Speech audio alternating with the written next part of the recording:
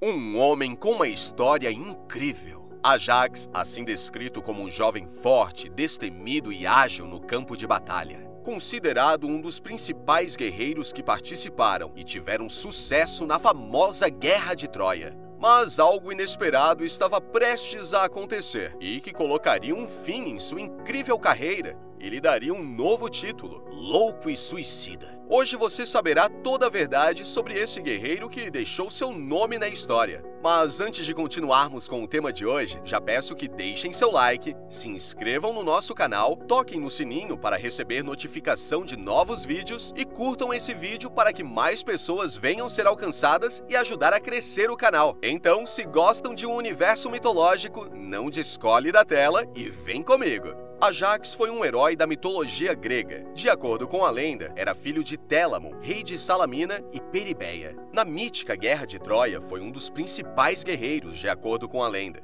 Seu nascimento se deu de uma forma um pouco inusitada. O rei Télemon e sua primeira esposa Peribeia desejaram desesperadamente por um filho. Heracles, a quem se dirigiu a oração, pediu a Zeus, o deus do trovão, para que lhes nascessem um filho. Zeus enviou-lhes uma águia como sinal de que o seu pedido seria concedido, e Heracles disse ao casal para darem o nome Ajax ao seu filho. Mais tarde, a Peribeia engravidou e ela deu à luz um filho. Deram-lhe o nome de Ajax, e a criança cresceu para ser um guerreiro corajoso, forte e feroz. Já em Ilíada, Homero descreve Ajax como um homem de grande estatura e tamanho. Disse que ele parecia uma enorme torre quando entrava em batalha, com seu escudo na mão. Embora Ajax fosse um guerreiro feroz, ele também era corajoso e muito bondoso. Ele estava sempre quieto e reservado, com um discurso incrivelmente lento e preferia deixar que os outros falassem enquanto ele lutava. Talvez isso fosse sua estratégia mais inteligente em combate. Por outra vez, no lado sentimental, Ajax estava entre os 99 outros pretendentes que vieram de todos os cantos da Grécia para cortejar Helena, supostamente a mulher mais bela do mundo. Ele competiu contra os outros guerreiros gregos para ganhar a mão dela em casamento, mas ela escolheu o rei espartano Menelaus,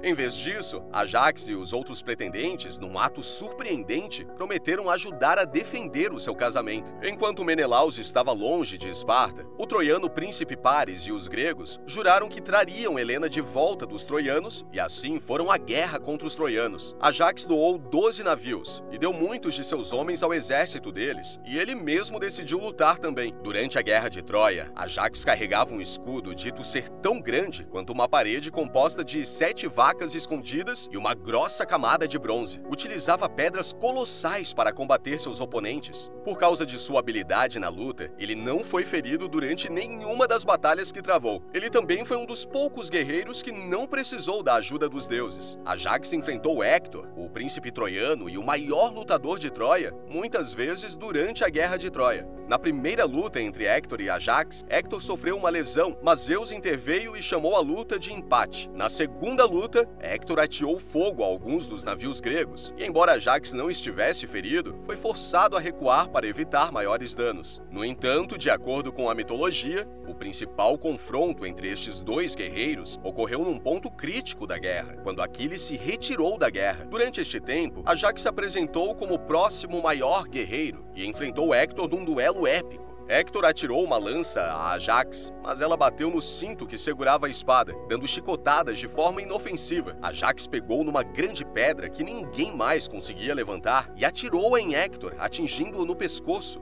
Hector caiu no chão e admitiu a derrota. Depois, os heróis trocaram presentes como forma de mostrar o respeito uns pelos outros. Ajax deu o cinto a Hector, isto foi um sinal de total respeito entre dois grandes guerreiros de lados opostos da guerra. Outra habilidade muito importante de Ajax, que aconteceu durante a Guerra de Troia, ocorreu quando o herói grego resgatou o corpo de Patroclo, outro herói grego morto em batalha. Os troianos queriam dar o corpo de Patroclo para os cães comerem, porém Ajax o resgatou e o levou para o acampamento de Aquiles. Ajax salvou a tropa de navios. Quando Aquiles partiu, Ajax foi enviado para convencê-lo a voltar, mas Aquiles recusou. O exército troiano estava ganhando vantagem e os gregos foram obrigados a recuar. Quando os troianos atacaram seus navios, Ajax lutou com bravura e corajosamente. Por causa de seu tamanho, ele era um alvo fácil para flechas e lanças troianas. Embora ele não pudesse salvar a frota sozinho, ele foi capaz de evitar os troianos até os gregos chegarem. Quando Aquiles foi morto por pares durante a guerra, Odisseu e Ajax lutaram com os troianos para recuperar o seu corpo, para que pudessem dar-lhe um enterro digno. Foram bem-sucedidos nesta aventura, mas depois ambos queriam ter a armadura de Aquiles como recompensa pela sua realização de bravura. Os deuses decidiram que a armadura seria mantida no Monte Olimpo até que Ajax e Odisseu determinassem quem iria ganhá-la e como. Eles tiveram uma competição oral, mas não acabou bem para Ajax, porque Odisseu convenceu os deuses de que ele merecia a armadura mais do que Ajax, e os deuses assim concederam a ele. Isto fez com que o Ajax ficasse tão cego de raiva que se apressou a matar os seus camaradas, os militares. Atena, a deusa da guerra, interveio rapidamente e fez com que Ajax acreditasse que um rebanho de gado era seu camarada, e em vez disso, massacrou todo o gado dos camponeses vizinhos. Depois de matar todos e cada um deles, caiu em si e viu a besteira que havia cometido. Tinha tanta vergonha de si mesmo que caiu sobre sua própria espada, aquela que Hector tinha lhe dado, e suicidou-se. Depois de sua morte, disse que ele se foi com Aquiles para a ilha de Leuce. Na mitologia grega, a ilha de Leuce era o nome de uma das oceânicas, e também como chamavam a atual ilha ucraniana de Fidonise. Ilha das Serpentes. Sua morte faz simbolismo com a flor de jacinto, que é popularmente conhecida. Segundo algumas fontes, uma bela flor de jacinto cresceu no local onde o sangue de Ajax havia caído, e em cada uma de suas pétalas estavam as letras Ai, os sons que simbolizavam gritos de desespero e tristeza do guerreiro suicida. A flor de jacinto que conhecemos hoje não tem nenhuma marca como tal, mas a espora de cotovia, uma flor popular comumente vista nos jardins modernos, tem marcas semelhantes. Em alguns relatos, disse que as letras Ai são as primeiras letras do nome de Ajax e também de uma palavra grega que significa ai de mim. Ajax o Grande não deve ser confundido com Ajax o Menor, um homem com uma estatura menor que também lutou na Guerra de Troia. Ajax o Menor lutou corajosamente e era famoso por sua rapidez e sua habilidade com a lança. O escudo é um símbolo bem conhecido do Ajax o Grande, indicando sua personalidade heróica. É uma extensão de sua proeza como guerreiro. As representações do Ajax apresentam seu grande escudo, de modo que ele possa ser facilmente reconhecido e não confundido com o outro Ajax. Porém, o pai de Ajax o Grande, Telamão, vingou-lhe a morte, provocando o naufrágio da frota de Ulisses nas costas de Salamina. Devido à sua fama por ser um guerreiro de valor que lutou bravamente na Guerra de Troia, um templo e uma estátua foram construídos em Salames em honra de Ajax o Grande, e todos os anos um festival chamado Aianteia era realizado para celebrar o grande guerreiro. Ajax foi um dos guerreiros mais importantes durante a Guerra de Troia, que ajudou os gregos a vencerem a guerra. Ele é considerado o segundo maior guerreiro apenas atrás de Aquiles em termos de poder, força e habilidade. Apesar de sua morte repentina, Ajax continua sendo um dos heróis mais importantes da Guerra de Troia. Difícil é entender como um forte guerreiro que todos olhavam com admiração e um certo temor pode cometer sua própria morte. Será a loucura de fato pela ira que acometeu ele?